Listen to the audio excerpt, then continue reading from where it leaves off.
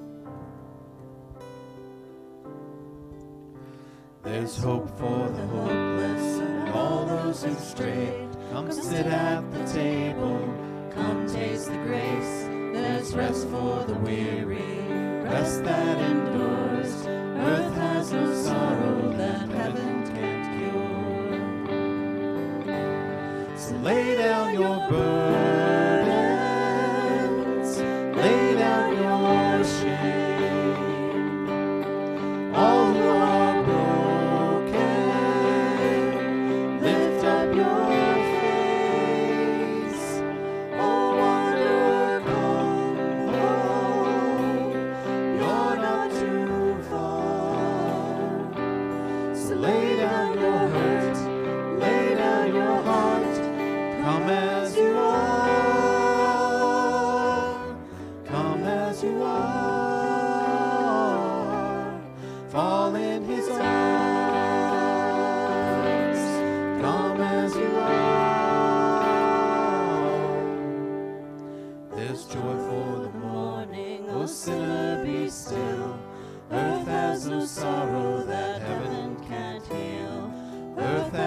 sorrow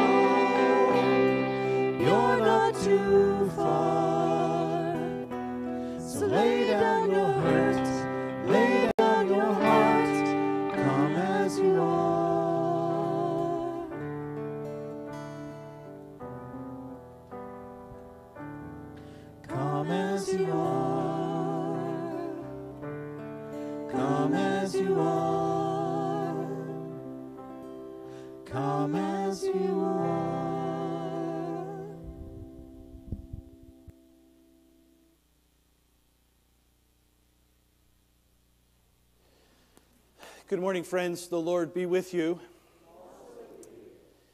I hope that that invitation that was just sung is real for you and that you feel comfortable or at least invited to come to worship God uh, really for who you are, not to pretend, not to put on a mask, not just to live out something that you think others want to see, but just really right where your heart is, that you can come to this place know that God welcomes you and that we welcome you with that love of Christ and that, that Jesus is sufficient for whatever our need is this morning and every day. So we're glad that you are here for worship this morning. Glad for those who are joining us online.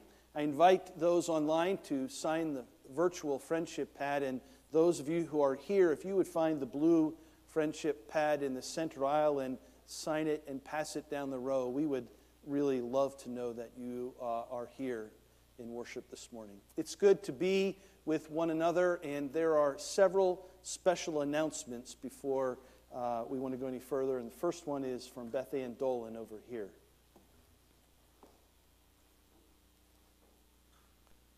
Good morning. We're looking for someone to work in the toddler room and the nursery.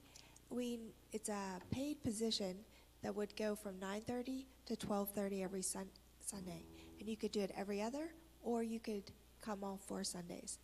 And but to me, it's actually more of a ministry because that's where the parents are bringing their young children. So if you're interested in something like that, we would love to hear from you, or if you know someone who would be, just make sure you, uh, my number's in the bulletin, or you can call the church office. Thanks, Beth Ann. Pam Dudgeon and Dwight Pearson, members of the mission team.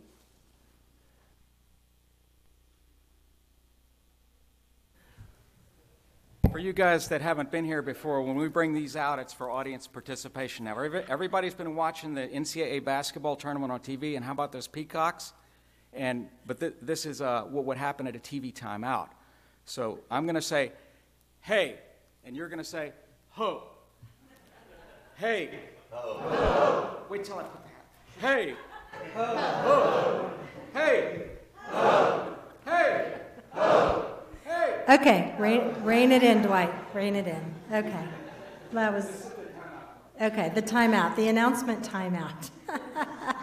I feel so privileged to get to wear the hat. I didn't, I didn't know that. Well, um, the announcement is um, the mission team invites all of you to a lunch next week, um, which is April 3rd. Our uh, longtime mission partner, Dr. Clement, is going to be visiting, and uh, he works in India. He's from India. He's going to address um, us all part, uh, out for a brief announcement, a brief time during service, but we want to give him um, more time, our full attention, and so we're going to have an. There's yeah. no basketball game next Sunday. Okay, that's a good point. So you can stay for lunch after second service downstairs, and you'll be treated to soup, salad, potato bar, um, and just a time of fellowship, which we certainly are excited that that is back. So please come back for lunch if you are an Folks, 8:30. out- Wait, out of town folks, listen to this. It's good to be here in person because stuff like this happens here. Come on in. Mm-hmm. There Dr. Clement's coming here from India. India. He's visiting from India. is going to be here. So come, enjoy, listen to his. talk. We're go- Presentation. yes, yes, we're going to learn more about what's happening. He, he, um, he supports um, pastors in India. That is his mission. He teaches them so that they are equipped to serve the, the vast country of India. Have I said enough? I say hey, you say oh, hey, oh, hey. Okay, there we go. See you next week at 12:30.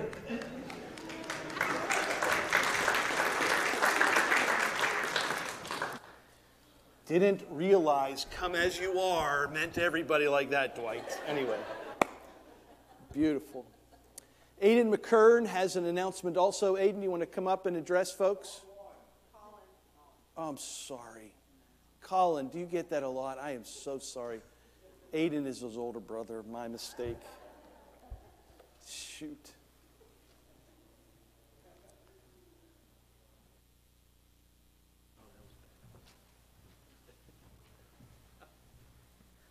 Hi, my name is Colin McKern.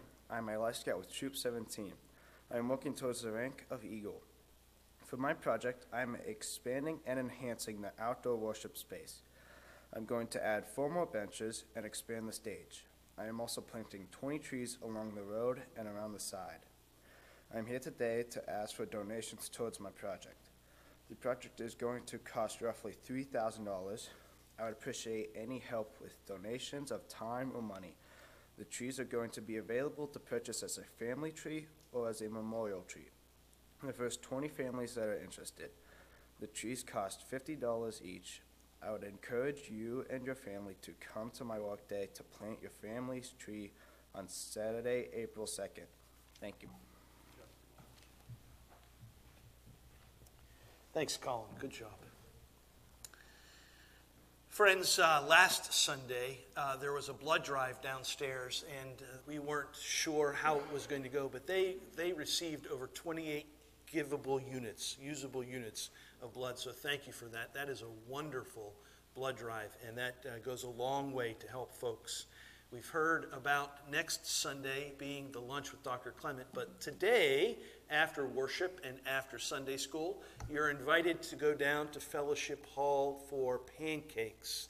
In fact, if in about 20 minutes you start smelling something. Uh, they're cooking down there already and waiting for you. It's a youth fundraiser for their mission trips, so please be a part of that. And let me remind everybody there is Sunday school for all ages, to adult classes, kids all ages. Um, please uh, know that that's available for you. I just have a few prayer requests to ask of you. The first one is to pray for Verna Patsko's family. It was Verna's 92nd birthday last Monday. I called and left her a message.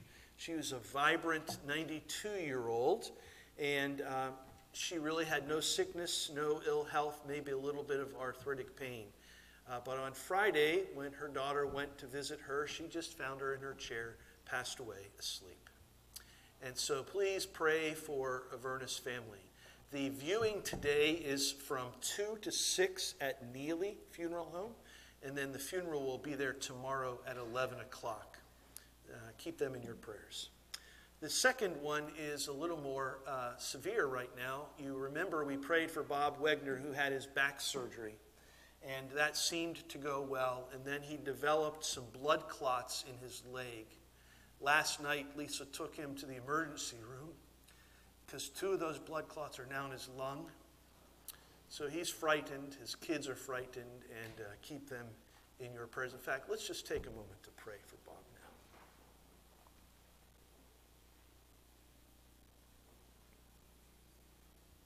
Lord, bless Bob with your peace, Lisa with your strength, the kids with the comfort that comes from you. We lift them all into your care and trust you uh, for their situation and each of them for where they are.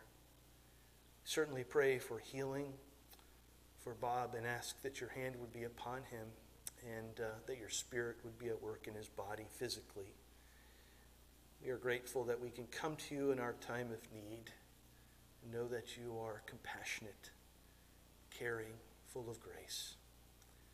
Pour out that grace upon the Wegners this morning. In Christ's name, amen. Friends, let's take just a moment to stand and wave to each other, share the peace of Christ with one another.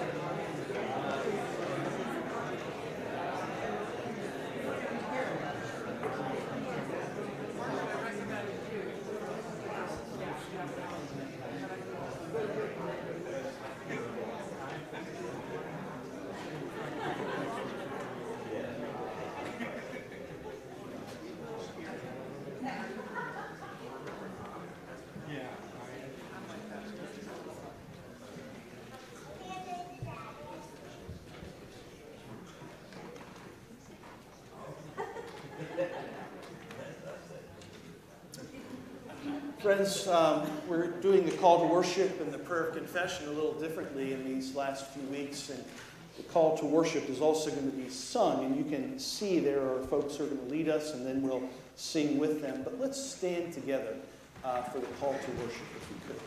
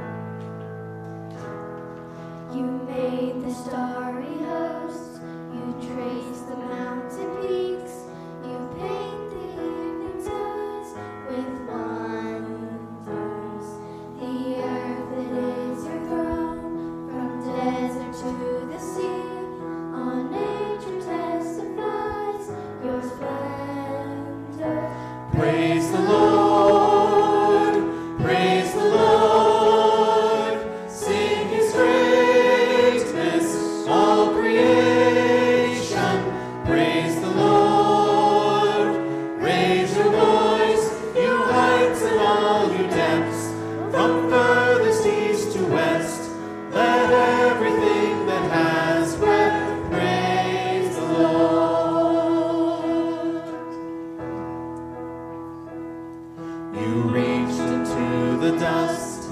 In love, your spirit breathed. You formed us in.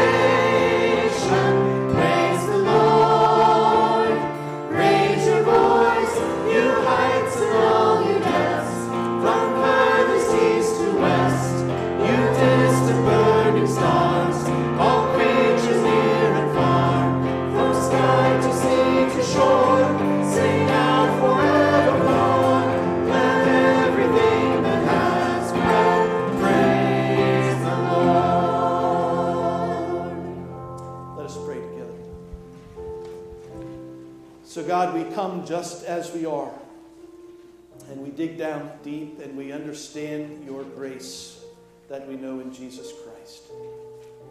And then we lift our eyes to the heavens, we raise our hands in praise, and we offer it to you because you are the one who has made us and all of creation. We see your beauty in the snow. We see the image that you have made in each person. We thank you, God, that you have not only made us, but redeemed us. Your love is so great for us that you gave us your Son, Jesus, that he might be the Savior of the world, the Lamb of God.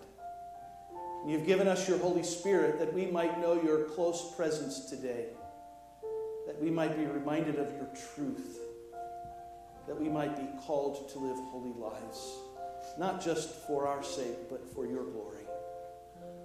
And so we come this morning offering our songs of praise, and, uh, our prayers, because we're needy. We need all that you can supply. And we cry out, Lord, come, have mercy. Show us your love. We give you thanks. Speak to us as we gather together as the body of Christ. Renew our faith. Sink our roots deeper into your truth, uh, that we might live in the light of Jesus. We pray in his name.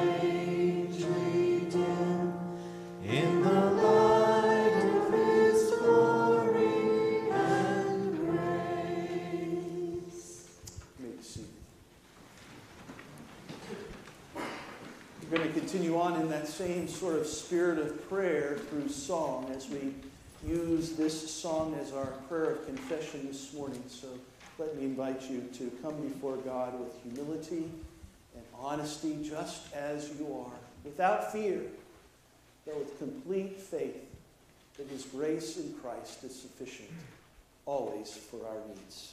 Let's come before the Lord.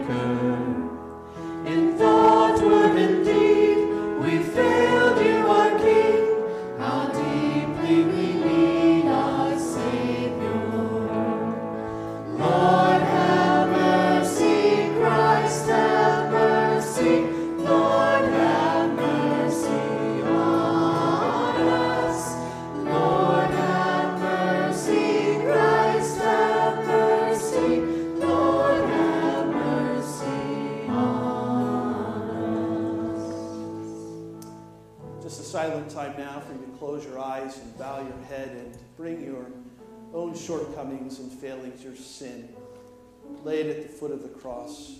Leave it there. Leave it so God can take care of it and you can be released from that guilt or that shame or the weightiness of that in your life.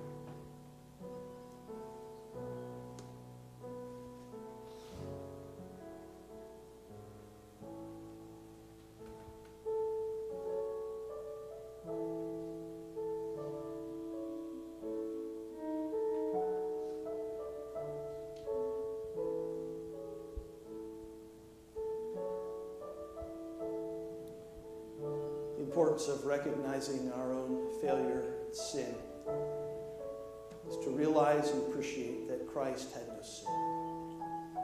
He's the one who is righteous. That our salvation, our hope, our mercy, our forgiveness is dependent upon His accomplishment, His full obedience to the Father. He has done it. He has done it for each of us and for all who will put their faith in Him. Be united to Him in that faith.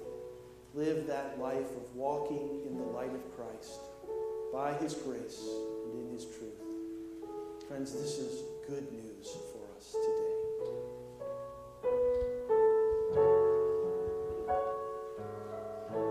Please join us. For what you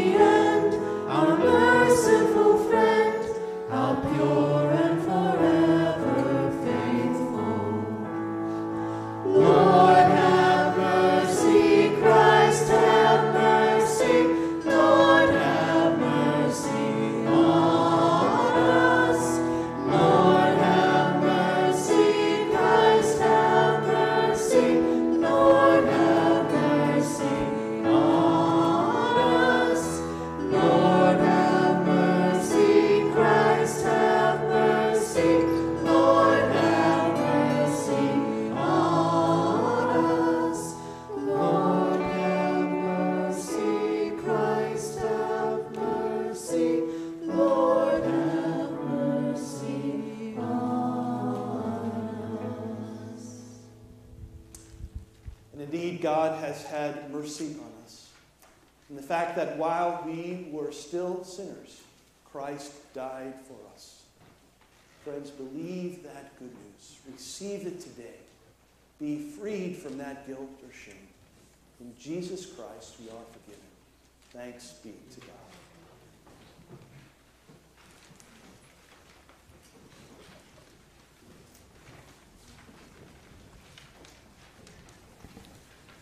Please bow your heads and pray with me. Father, thank you for the gifts that you have given to each of us. Most importantly, we thank you for sending your Son, Jesus Christ, to forgive us of our sins. We pray that this morning's offering is pleasing to you, and that you guide us to use it in ways that bring glory to you. In Jesus' name we pray. Amen.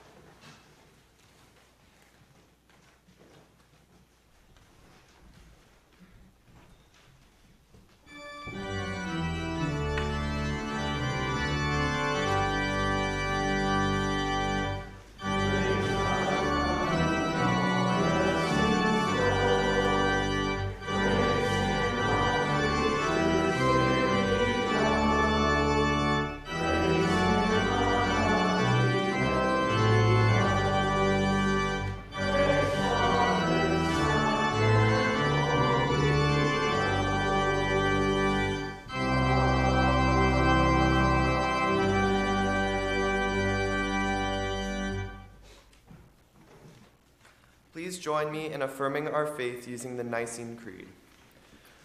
We believe in one God, the Father, the Almighty, maker of heaven and earth, of all that is seen and unseen. We believe in one Lord, Jesus Christ, the only Son of God, eternally begotten of the Father, God from God, light from light, true God from true God, begotten, not made, of one being with the Father. Through him all things were made. For us and for our salvation, he came down from heaven, was incarnate of the Holy Spirit and the Virgin Mary, and became truly human. For our sake, he was crucified under Pontius Pilate. He suffered death and was buried. On the third day, he rose again in accordance with Scriptures. He ascended into heaven and is seated at the right hand of the Father. He will come again in glory to judge the living and the dead, and his kingdom will have no end. We believe in the Holy Spirit, the Lord and giver of life, who proceeds from the Father and the Son, who with the Father and the Son is worshipped and glorified, who has spoken through the prophets. We believe in one holy Catholic and Apostolic Church. We acknowledge one baptism for the forgiveness of sins. We look for the resurrection of the dead and the life of the world to come. Amen. Please be seated. Let us pray. Dear Heavenly Father, thank you for bringing us together to praise you with our music, prayers, and studies of your word. We ask you to give us the strength to help others, whether it is shoveling snow for someone or other simple acts of kindness. We pray that you allow us to live our lives in your image by loving everyone as you have loved us. Thank you for loving us unconditionally through every twist and turn in our lives. Without you, we would be lost. Lord, we pray that you bless the people of Ukraine who have lost loved ones or were, for, or were forced to flee the country. Please lift them up and wrap your arms around them and give them the comfort that you are there. Allow us to give the people of Ukraine a helping hand by supporting them in any way we can. We pray for peace in Ukraine and everywhere else there is conflict. Heavenly Father, we pray that you also help those who are sick, battling addictions, or are struggling with any other health concerns. Comfort them and give them strength. As Easter comes closer and closer, we ask that you help us to remember how Jesus died on the cross for our sins. We cannot fully grasp Jesus' sacrifice for us. We pray that the love Jesus has shown us is reflected in our words and actions. Thank you for everything that you have done for us. You have not only shown us love throughout every day of our lives, but have also been there and will always be there, no matter what. For that we praise you. And now join me in praying the Lord's Prayer. Our Father, who art in heaven, hallowed be thy name. Thy kingdom come, thy will be done, on earth as it is in heaven. Give us this day our daily bread, and forgive us our debts, as we forgive our debtors. And lead us not into temptation, but deliver us from evil. For thine is the kingdom, and the power, and the glory forever. Amen.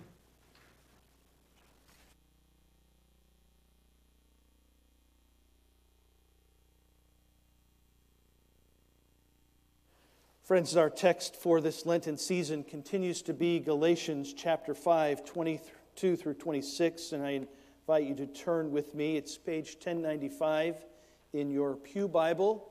We are going through the fruit of the Spirit, and today we are on goodness and faithfulness. Next Sunday, we'll finish with the last two gentleness and self control. And I don't know about you, but as we go through this list, it's a great inventory for me to realize that indeed, uh, as we go through this season of Lent, I am in need of a Savior. Because these fruit of the Spirit aren't always what people observe in my life, which means that I have fallen short of what God desires and hopes for me, and I think for all of us, which is the whole point of understanding uh, what we're doing through this Lenten season. But before I read, let me pray for us as we approach the Word of God.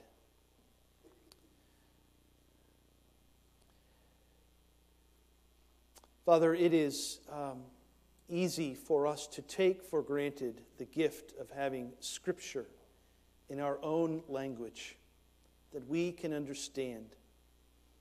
You have given it to us through your Spirit. You have blessed us with a revelation that shows us who you are, who you desire us to be, the need we have of a Savior, and your provision of that Savior in Jesus Christ. So open our hearts and our minds to receive your word that is full of truth and grace. We pray in Christ's name. Amen. Hear the word of God. The fruit of the Spirit is love, joy, peace, patience or forbearance, kindness, goodness, faithfulness, gentleness, and self control. Against such things there is no law. Those who belong to Christ Jesus have crucified the sinful nature with its passions and desires. Since we live by the Spirit, let us keep in step with the Spirit. Let us not become conceited, provoking and envying each other. This is the word of the Lord. Thanks be to God. So, before we get to the goodness and faithfulness, I thought I would say one thing about the phrase right after the fruit of the Spirit is listed. Against such things there is no law.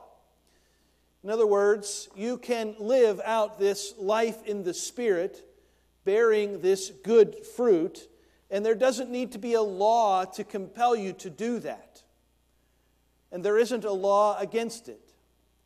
And the purpose of that piece of Scripture there is to remind us that this is something that starts inside. When we are transformed, when there is new life created in our hearts, rather than something that is coming from the outside, like a law that simply seeks to conform us to what a law is saying. Because God is really interested in transformed lives, not conformed lives.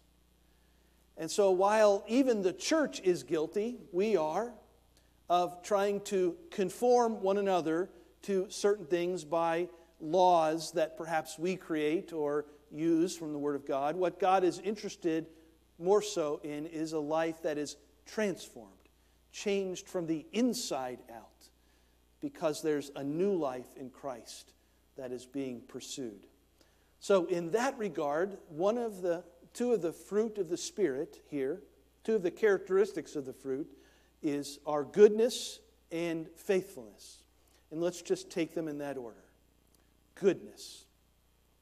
And as I thought about this for a long time, really, because this is maybe the most difficult characteristic to speak about, because we use the word good a lot in our lives. We talk about things being good.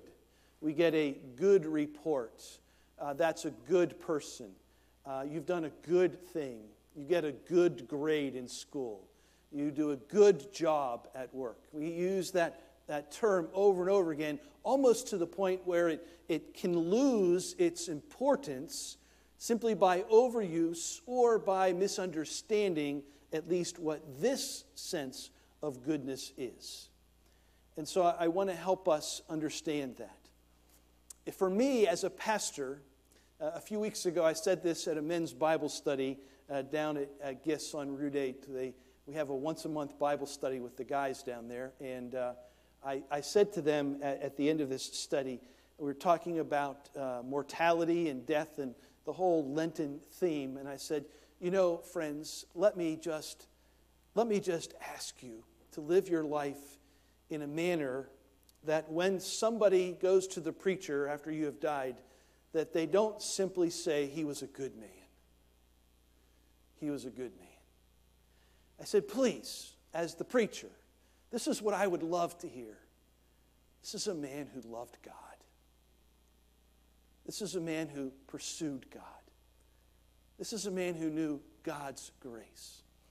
Now, out of that pursuit, out of that knowledge, um, should result goodness, but not in that generic, general, sort of pedestrian use of the word good.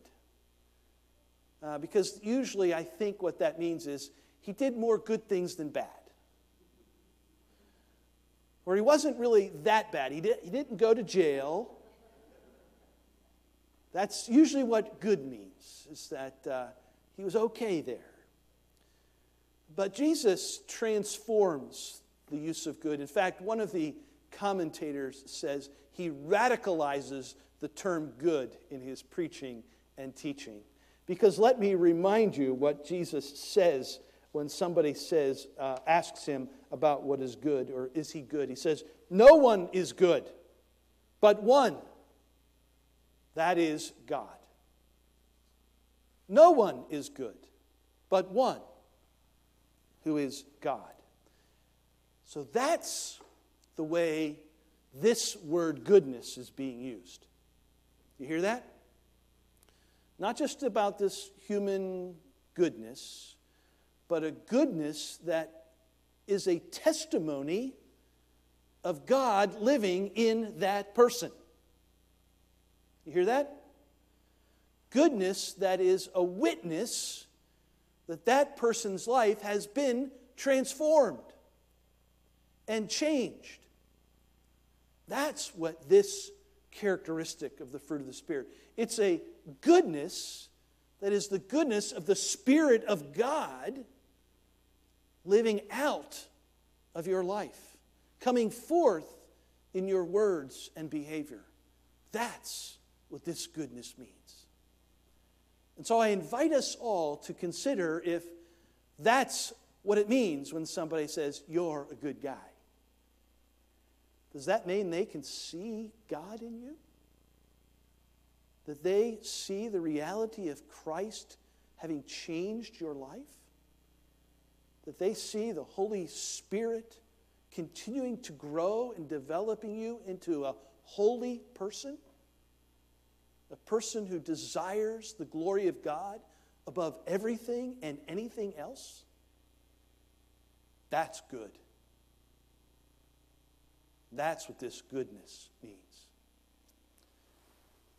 So let me remind you of some of the things that are said in the Psalms and particularly the Old Testament about the goodness of God. Oh, give thanks to the Lord, for he is good. His mercy endures forever. And they sang responsively, praising and giving thanks to the Lord, for he is good. His mercy endures forever. Good and upright is the Lord. The Lord is good to all, and his tender mercies are over all his works. O taste and see that the Lord is good.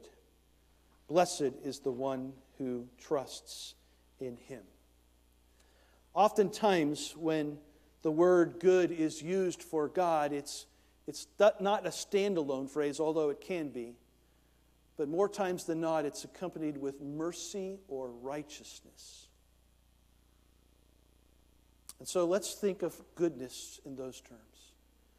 The goodness of God flowing forth in our life that shows forth mercy and righteousness to those around us. That's what the fruit, that's the goodness that we're calling the fruit of the Spirit. It's a generosity toward others. It's not just a common stance or happenstance good, but it's an intentional, generous life lived for the glory of God to show His mercy and His righteousness. So I'm not saying that we should stop using the term good, but I am, I am suggesting that we should understand that this isn't just that common use here. This means something far deeper, far more rooted in the person and the character of God than it is necessarily who we are. It's the new life of Christ living in and through us. So, how about the second term? Faithfulness.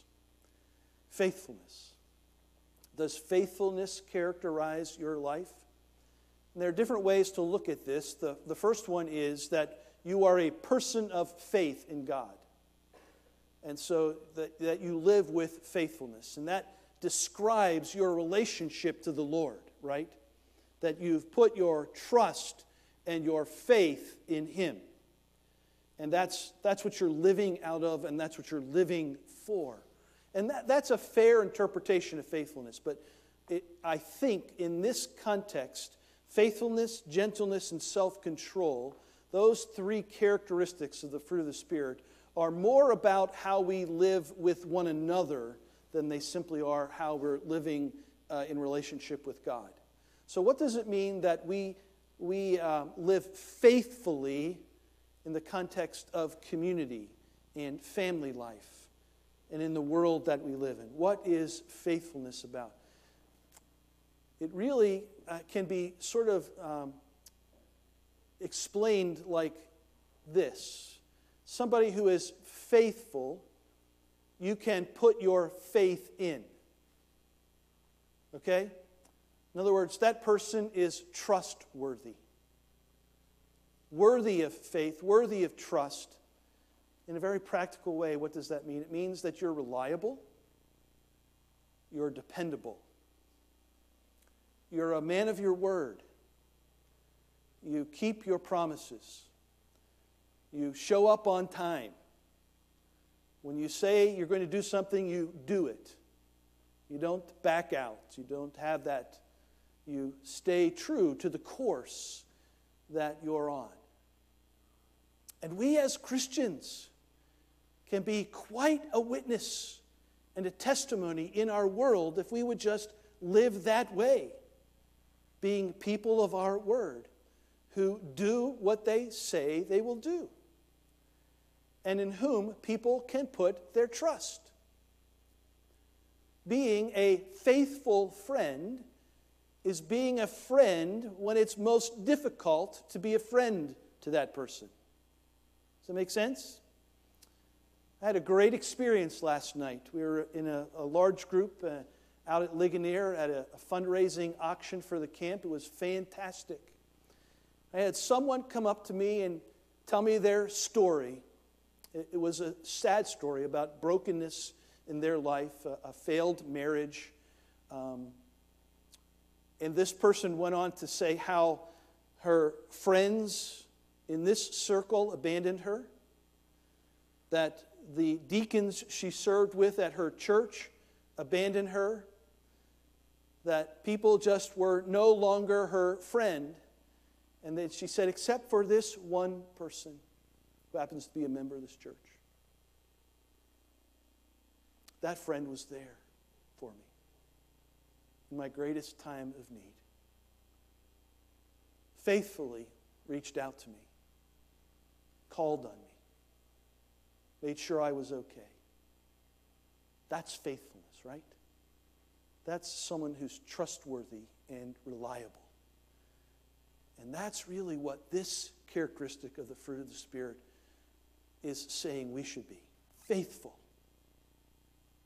full of promises, keeping our word, reliable, dependable, present when it's not easy to be present, going the extra mile, making the sacrifice. And if you see all of these fruit of the Spirit, all these characteristics begin to commingle, don't they? They all begin to overlap and be, become one with the other. They're just different points of the star, different expressions uh, uh, of the same truth. And I think faithfulness is a, a, an important one. Of course, the faithfulness in us should once again point to the faithfulness of God. Because we aren't always going to be able to maintain that faithfulness. We should strive to be faithful to, glor- to the glory of God. But God is the one who's ultimately faithful. I love the Lamentations passage. It's chapter 3, verses 21 and following. It's where we get the great hymn, Great is Thy Faithfulness. Great is Thy Faithfulness. But this is what the text says it says, Yet this I call to mind Therefore, I have hope. And this is after the person has explained their affliction, their bitterness, everything that's going wrong in their life. They're, they're sort of, well, they're lamenting, right? They're lamenting their circumstance. Why? I don't understand. God, what's going on here? They aren't necessarily complaining, because lament and complaint are two different things. A lament is still understanding that God is sovereign. Uh, a complaint is more like, hey, why don't I get it my way? A lament is more like, I don't understand, Lord. I'm turning to you. Help me in this. Yet this I call to mind, and therefore I have hope. Because of the Lord's great love, we are not consumed. For his compassions never fail, they are new every morning. Great is your faithfulness. That's what faithfulness is compassions that never fail, mercies that are new every morning. That's the God who loves you. He's faithful to you. And we are then to imitate that faithfulness toward one another and those around us. To be full of compassion, to be rich in mercy, to show great love, not to be consumed with the brokenness of the world or even the brokenness of our lives, but to depend upon, rely upon, trust in the faithfulness of God. Beloved, that's what Lent is about. It's not this deep dive into our sin so that we feel really bad. It's this deep dive into our sin so that we recognize the glory of God in His grace through Jesus Christ. And that's what we see in these texts. That's where we're moving toward. Great is thy faithfulness, O God, my Father. There's no shadow turning with thee. Great is thy faithfulness. God is faithful to us, beloved. Calls us to be faithful to each other as well. Again, this fruit of the Spirit is not the work that we do, it's the fruit that is borne in us and through us. Please do not take this as an invitation to work harder at being a good person. Take this as an invitation to surrender more to be God's person. Don't try harder.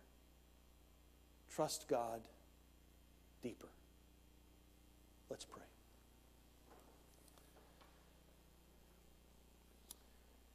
Father, thank you for this word. It is true, it's full of grace. Points us to our need for Christ. We are so grateful to be glad recipients of your grace. Give us such faith and fill us anew with your Holy Spirit, that our life in Christ would shine more brightly for the world to see not to give us any kind of acclamation, but so that we might give you the glory that is yours. We pray in Christ's name. Amen. Friends, our final hymn is 383. Let's stand and sing together.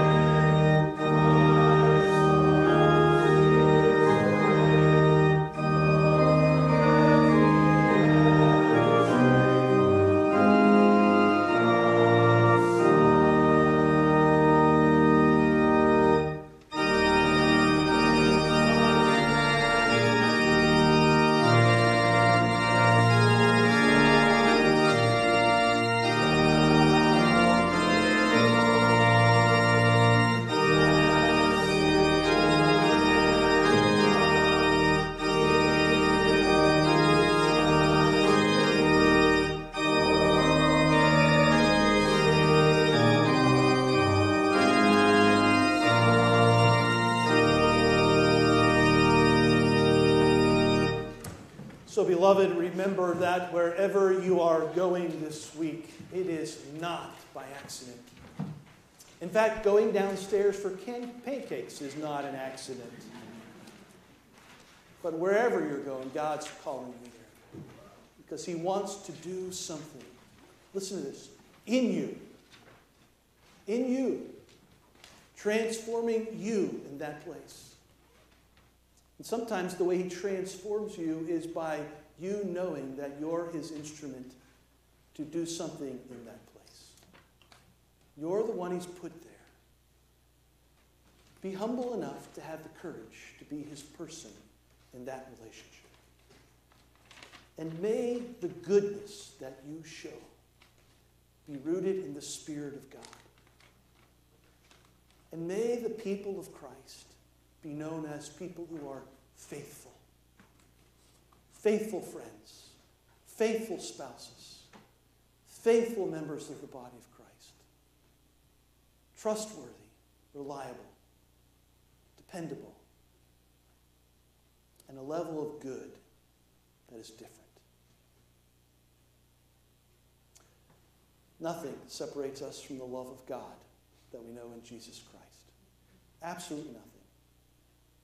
Our struggles, our mental health, our brokenness inside, God's love is greater. And the grace of God that we know in Jesus, his Son, our Savior, his life, his perfect life, his righteous life, his sacrificial death, his glorious resurrection, his promised return. That's our hope. He is our salvation.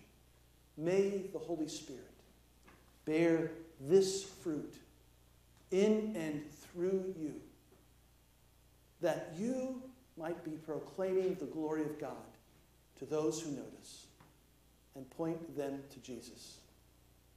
Today and always, amen. Let's read our response together. The fruit of the Spirit is love, joy, peace, patience, kindness, goodness, faithfulness, gentleness, and self control. Since we live by the Spirit, let us keep in step with the Spirit. Go in peace.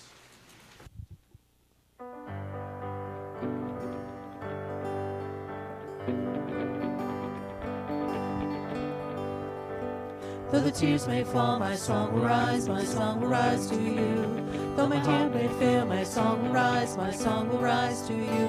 While there's breath in my lungs, I will praise you, Lord.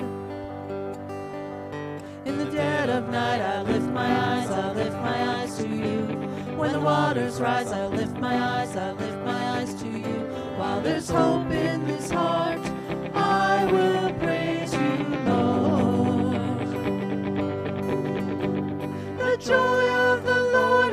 strength. The joy of the Lord is my strength. In the darkness I'll dance, in the shadows I'll sing. The joy of the Lord is my strength. When I cannot see you with my eyes, let faith arise to you. When I cannot feel your hand in mine, let faith arise to you. God of mercy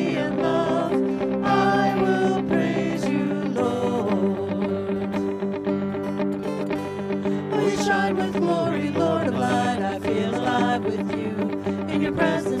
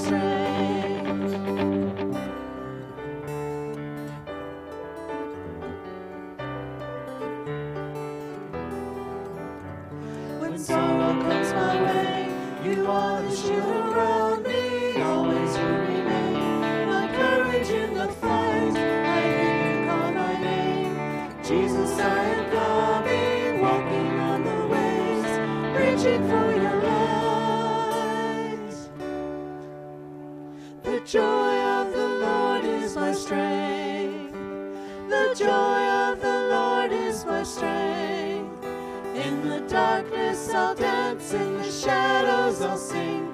The joy of the Lord is my strength. The joy of the Lord is my strength. The joy of the Lord is my strength. In the darkness I'll dance, in the shadows I'll sing.